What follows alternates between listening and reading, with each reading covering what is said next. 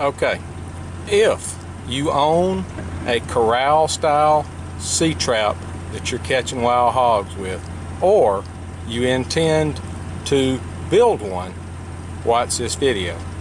Alright, got a little hack on there, not mine, Daryl the Hogman's hack that is a game changer with the Corral Sea Style. Let's go check it out.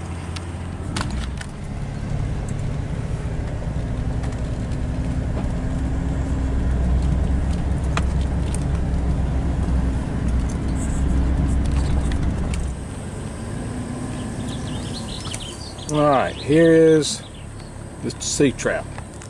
Alright, here we have your standard corral trap and we have caught many hogs in it. But every now and then you get something that's so good you just got to share it. I had to ask the man's permission because Daryl calls it proprietary information and it is.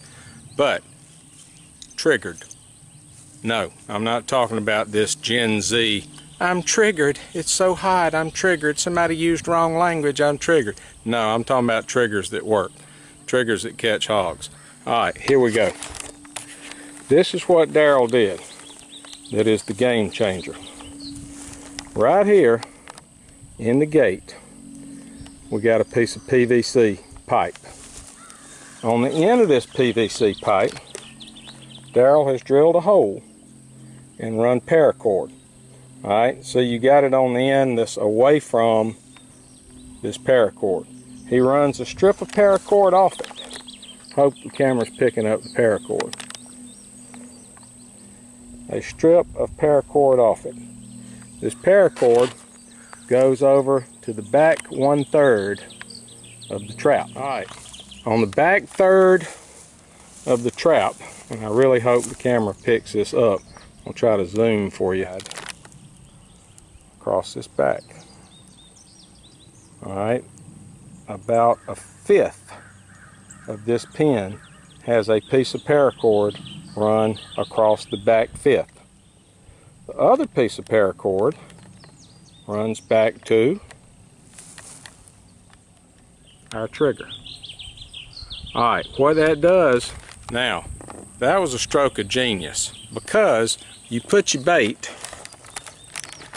right behind this paracord. I'm gonna try to get my shadow off. You put your bait right behind this paracord. See, there's our corn right there. Good old sour mash. You got the slop recipe. You even got this pin build. And we got a German Shorthair who I hope is going to demonstrate how this trigger works. But, as a hog comes in, he makes his way around the edge of the pen. He smells the bait. He comes to the bait. And what does he run into? The paracord.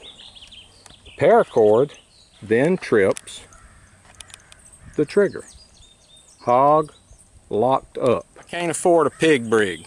Just don't have the money. All right. But I can halfway build this corral trap. I can do that.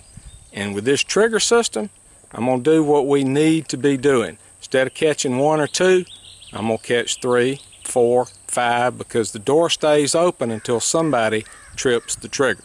And this is big enough, you can get five, six, seven hogs in at a time. That's the brilliance of the trigger.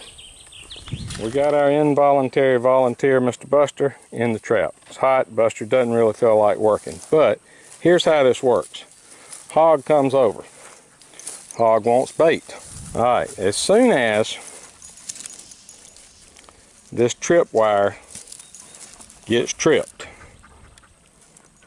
all right, see the stick, Busters refuse to run into the wire. They bump it, trap hog. Trigger down, hog in trap, boom. We've caught ourselves a hog.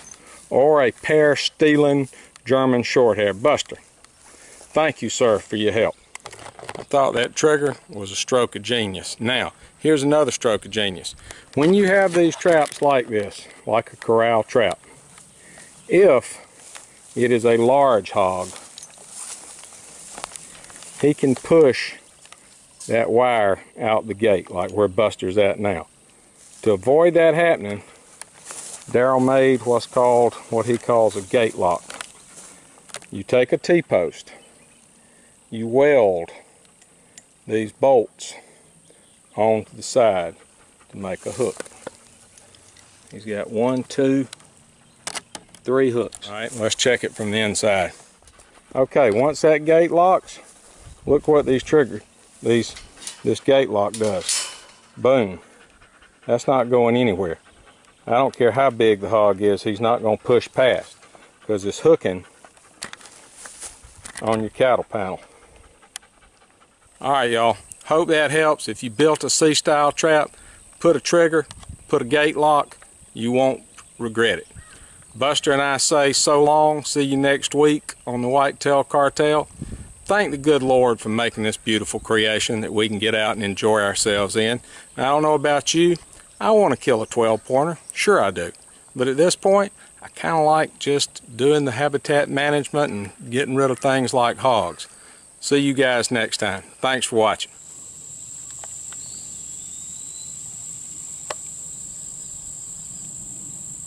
Thanks, Buster. Tomatoes needed it. Buster, you better not get that pear. You bring me that pear. Buster, bring me that pear. You bet I bring that, you aggravating rascal. Bring me that pear. Squirrels love them. Deer loves them. Turns out, this crazy German shorthair.